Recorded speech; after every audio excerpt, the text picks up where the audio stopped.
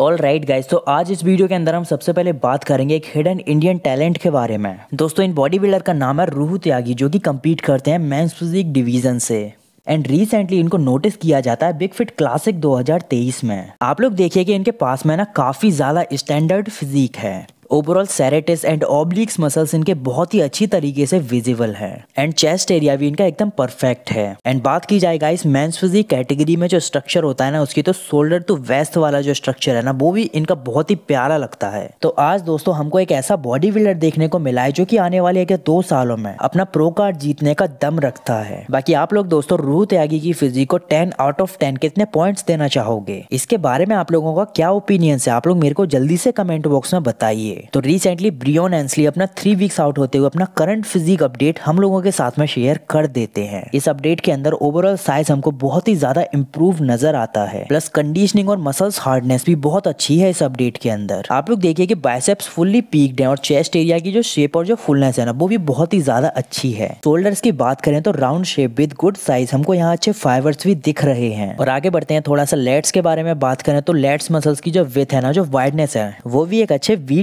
Taper में है। और अब दोस्तों थोड़ा सा नीचे आए एंड बात करें कोर एरिया की। तो यहाँ पर एप्स मसल्स अभी से एकदम क्लियरली विजिबल हैं विद वैक्यूम इसके अलावा गाइस इस अपडेट के अंदर इनके जो लेग्स की क्वार्ट्स मसल्स है ना, वो भी बहुत ही ज़्यादा इंसेन है। स्पेशली आउटर स्वीप मुझे इस अपडेट के अंदर बहुत ही ज़्यादा इंप्रेसिव लगी। बाकी अगर इस अपडेट को हम लोग कंपेयर करें उर्स कैलेंसकी के करंट अपडेट के साथ में तो हम लोग ये देखते हैं कि दोनों ही बॉडी बिल्डर्स की जो फिजिक है ना, वो अपने अपने जेनेटिक स्ट्रक्चर के हिसाब से बहुत ही ज़्यादा परफेक्ट है। बट एक हार्ड कंडीशनिंग की बात करूँ तो पता नहीं क्यों मेरा जो माइंड है ना वो ज़्यादा प्रायोरिटी दे रहा है ब्रियोन एंसली को। बट उर्स के पास में यहाँ पर जो एक वाइडनेस है आई I मीन mean, इनका जो फिजिक है ना वो एकदम खुलकर जो बाहर आती है ना वो वाली चीज़ यहाँ पर ब्रियोन को बहुत ही ज़्यादा डोमिनेट कर रही है। तो गाइस इस साल के ओलंपिया के अंदर ब्रियोन एंसली काफ़ी इजिली अपने लिए जगह बना लेंगे टॉप फाइव के अंदर। लेकिन जहाँ बात होगी कंपेरिजन की तो मुझे नहीं लगता कि ये बीट कर पाएँगे उर्स कैलेंसकी को क्योंकि उर्स के पास में एक अच्छा एस्थेटिक स्ट्रक्चर है। एंड इसके अपोजिट ब्रियोन भी बहुत ही अच्छे क्लासिक फिजिक बॉडी बिल्डर है। इनके पास में भी एक अच्छी हार्ड कंडीशनिंग आती है ऑन स्टेज बट आज के टाइम पर जैसा कि हम लोग देख रहे हैं कि जजेस एक अच्छे वाइड एस्थेटिक स्ट्रक्चर को ज़्यादा प्रायोरिटी दे रहे हैं।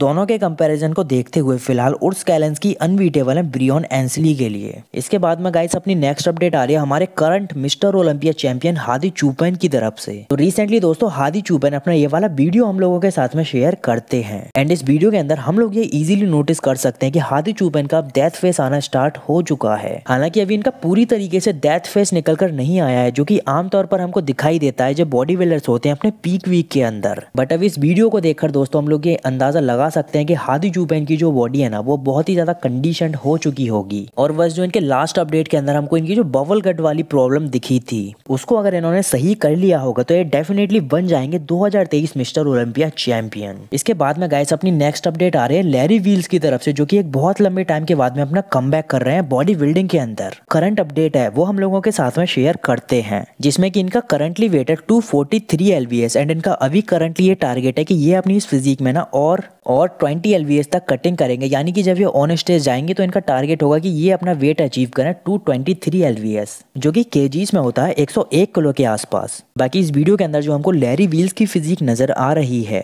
वो इस समय बहुत ही ज़्यादा फ्री की लुक में है और इसके बाद में जब ये दो हफ्तों के बाद में कम्पीट करेंगे अपने कॉम्पिटिशन के अंदर तो ये वहाँ पर हमको एक बहुत ही अच्छे स्ट्रक्चर और एक बहुत ही ज़्यादा एस्थेटिक फिजिक के साथ में नज़र आएँगे, जो कि जब इन्होंने अपने लास्ट कॉम्पिटिशन खेला था ना, उसके कंपेरिजन में बहुत ही ज़्यादा इंप्रेसिव फिजिक अपडेट होगा। और लैरी के कम के लिए दोस्तों, आप लोग कितना एक्साइटेड है? और लास्ट टाइम लैरी भी इसने कौन सी साल में कम्पीट किया था? आप लोग इसका जवाब मेरे को जल्दी से कमेंट बॉक्स में बताइए। इसके बाद में नेक्स्ट अपडेट आ रही है दोस्तों थ्री वीक्स आउट वाली जैरमी पॉटविन की तरफ़ से। और अपने करंट अपडेट के अंदर ये बहुत ही ज़्यादा हार्डर हम लोगों को नज़र आते हैं। जस्ट बिकॉज़ इनकी ओवरऑल बॉडी के अंदर ना हमको बहुत ही अच्छी क्वालिटी की जो फाइबर्स है ना, वो अभी से ही नोटिस हो रहे हैं। इसके अलावा में जो एक अच्छे सिमेट्रिकल स्ट्रक्चर की रिक्वायरमेंट होती है ना, उसको भी इनकी बॉडी काफ़ी अच्छी तरीके से फिल आउट करती है। तो देखना पड़ेगा दोस्तों की क्या वाकई में जेरमी पॉटविन 2023 के अंदर आ पाएँगे टॉप टेन में, या फिर नहीं। वैसे अभी तक दोस्तों मैंने जो भी प्रोडिक्शन वीडियोस देखी है ना ओलंपिया की स्पेशली मेंस फिजिक ओलंपिया की तो उसके अंदर जेरमी पॉटविन तो थे ही नहीं। बाकी कुछ भी हो सकता है गाइस अगर ये कॉम्पिटिशन वाले दिन अच्छे से साइन करेंगे तो ये डेफिनेटली क्रैक कर जाएँगे टॉप टेन इसके अलावा दोस्तों मैं आप लोगों को जाते जाते ना दो बॉडी बिल्डर्स का एक छोटा सा कंपेरिजन दिखाना चाहूँगा, जिसमें कि एक है ब्रैंडन करी जो कि लास्ट ईयर ओलंपिया में आते हैं फोर्थ प्लेस पर। और दूसरे हैं सैमसंग दौदा जो कि लास्ट ईयर आते हैं सिक्स प्लेस के ऊपर। तो आप लोग एंजॉय कीजिए इन दोनों की करंट बैक अपडेट का कंपैरिजन एंड मैं आप लोगों को मिलता हूँ गाइस अपनी नई वीडियो के साथ में।